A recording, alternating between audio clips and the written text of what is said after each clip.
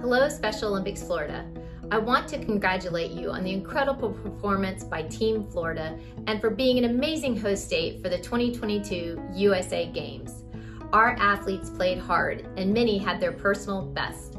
Our Special Olympics Florida team was a major part of these games.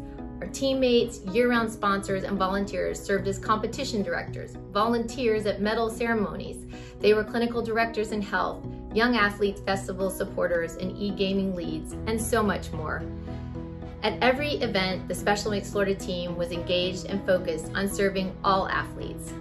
And while these games will be an important part of Special Olympics Florida's 50-year history, we all know the days ahead are filled with thousands of more athletes who deserve access to the incredible opportunities we offer. Your relentless passion for our athletes day in and day out is what makes our organization a place where everyone can find their inner champion. So to all of you who never stop giving so much of yourselves, we just want to say thank you.